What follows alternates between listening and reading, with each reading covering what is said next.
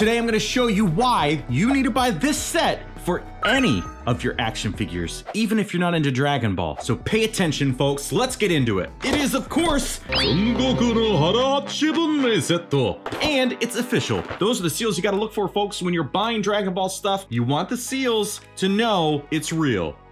Seals, it's reals. Look, this is something I've been really excited to open up, and thanks to Vex, say thanks Vex in the chat, he sent this over along with some other figures so we get to take a look at this thing on this channel and I didn't have to buy it. But I think that this is going to be something that I love so much that I will buy one because I wanted to and then he sent me one, but it doesn't matter. We're here today to take a look at this thing, see what all's in the box, which we know this unique faceplate is in there, so I'm thankful for that. And then of course the hand with the chopsticks. Look at it. Look at these exclusive accessories that are in this packaging. I did not know that the backdrops were there. It's got super modeling, it's got set content in simple style and heroic action, folks. We know that we need a box to have heroic action, otherwise you don't even want to bother and waste your time. So let's open this thing up and take a look at everything that's inside the Harahachi Bunmei Setto.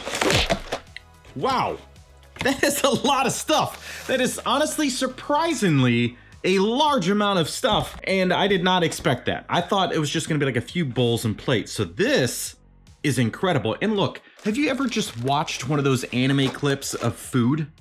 It's just any time there's food in anime, it is done so perfectly. It is very appetizing. And look, this little bowl of ramen is no exception in figure form. You get all of these details and it's just the right amount of detail because it still plays in the Dragon Ball universe. It even has the pattern going around the edge of the bowl.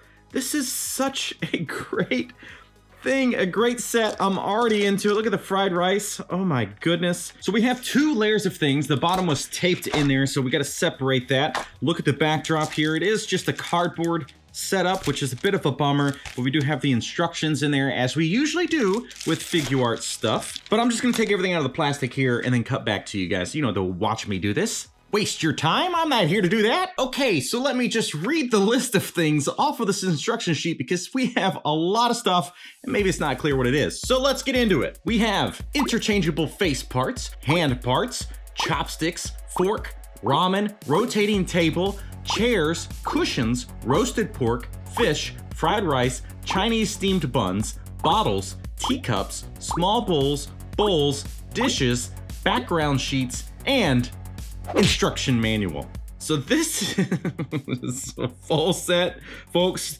For the value, this thing is substantial. This is a lovely setup. I'm a big fan. But the instruction set basically lets you know how these things are intended to be. So what you can put the steam buns on, all that stuff, just to kind of have a little bit of fun. The backdrops, the tabletop. So let's put this tabletop together because it's pretty straightforward. You got a little uh, tube style thing. Very straightforward. And then, yes, it has a Lazy Susan in the centerpiece. So uh, pretty cool. I like it. It is very Dragon Ball. I don't know how I feel about these things though, because there's like this level of like coloring and details that doesn't really seem to fit. Like the highlights and the shadows and seem seem a little bit much, but whatever. It's just a backdrop. It's gonna be fine. And because of that, we can just kind of set these things off to the side because it's not gonna make sense for an overhead camera, is it? No. It's gonna be good for the B-roll, which is like this thing on the screen right now. That's called B-roll, folks. All right, so the table, boom, cool, love it. Chair, like that, cushion, just pops on there. It does no way to lock in, which is a bit of a bummer because you would think with something like this, having it locked in place would be a great way to handle it because it's just gonna slide around every time you start moving your figures and stuff. But whatever. Chair number one, chair number two, and there's only three. That's kind of a bummer too.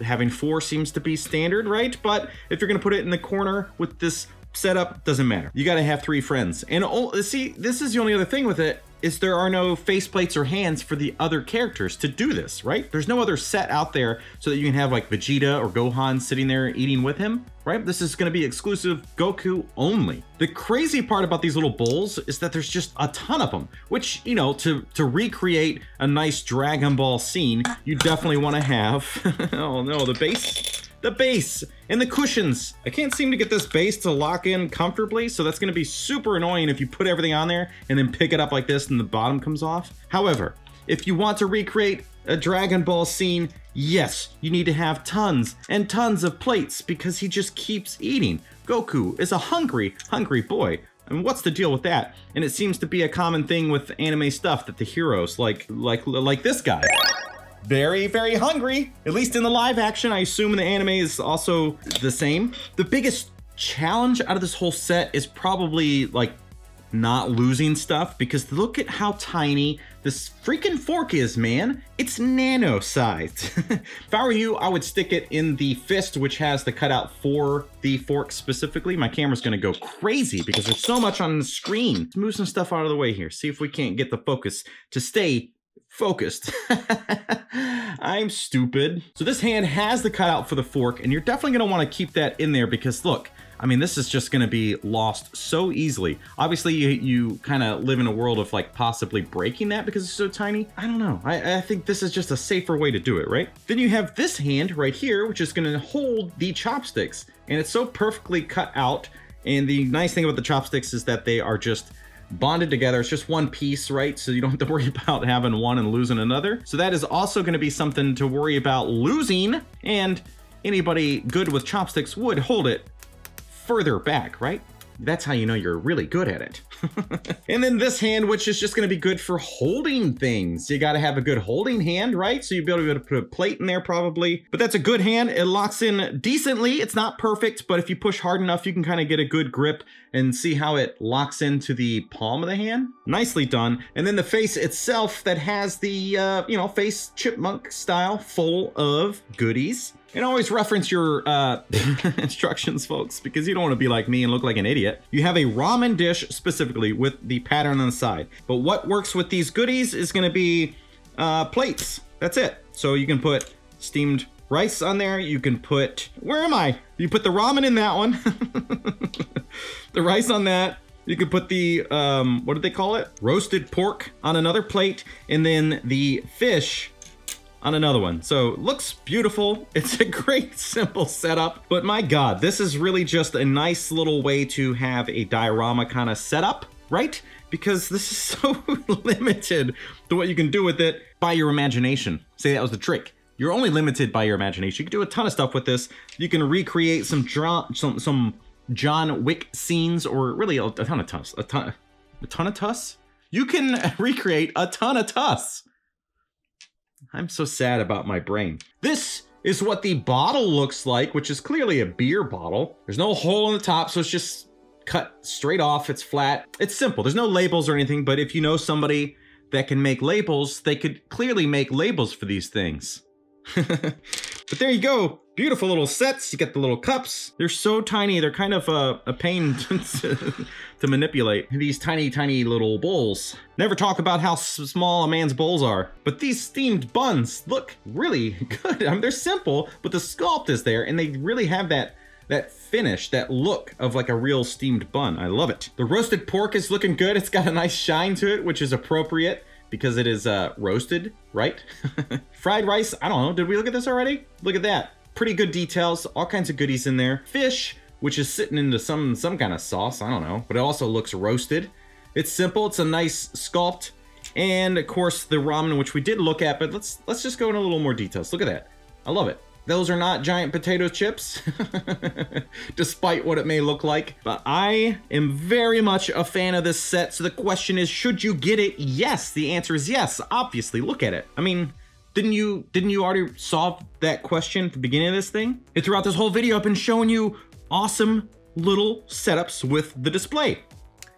So if you have this thing, come on, tag me in social media. I'm on Instagram, Twitter, we don't talk about Facebook. So if you have these things, take a picture, tag me in it. I wanna see what you're doing to recreate some famous scenes or come up with some new stuff. Are you using different characters that aren't in the Dragon Ball universe and taking advantage of all of these great goodies? As great as this whole set is, there is one major flaw. What is it? It's this. Depending on which Goku you have, you have Saiyan raised on Earth or you have superhero. The colors of their skin are so drastically different and he's not as yellow as he seems on camera. I hate that it does that. I don't know what kind of white balance I need to do to balance this. It just never works. See, it is a perfect match to the skin tone of the body with this face. If you want to try to put it on the superhero version, which was the one that I liked the most, by the way, out of the two. Look at that. He's got jaundice, folks. I hate it. And that is something that I should have known about during the review, the comparison between these two figures to find out which one is the definitive one, because this kind of rules him back out of the equation, doesn't it? I mean, I he's still the best looking, in my opinion, but this one is the only way to get these accessories to work because not only this faceplate, but the one that comes with the fighting like effects. But man, is that not just a fantastic little setup to have. I just, it would be great to have an accessory set that had faceplates for tons of different characters so they could all enjoy this kind of family dining experience. This is so good. It's so good. For people that want to do prop stuff and, uh, you know, like have miniature food and things for your figures, this is a wonderful set. I'm already in love with it, and it's going to work really well with things outside of SH Figuarts. So this is why you need to buy this set regardless of having SH Figuarts. And if you're a Dragon Ball fan, then guess what? I have things to for you of course, like this. It's based on my latest drawing, and this is just uh, this is a test print on a different type of paper, but I will most likely have these available as a like a full 5 by 15 print. But the most important thing is right now, the big old giant desk mat. Look at that thing. That's beautiful. I ordered one for myself. So take advantage of that, support the show, and have something nice in your collection. But I want to thank you all for being here and watching this video. If this is the first time you've shown up on Nostalgia Unboxed, let me know down in the comments. Don't forget to hit the like button and subscribe. Thank you so much for watching. We'll see you next time.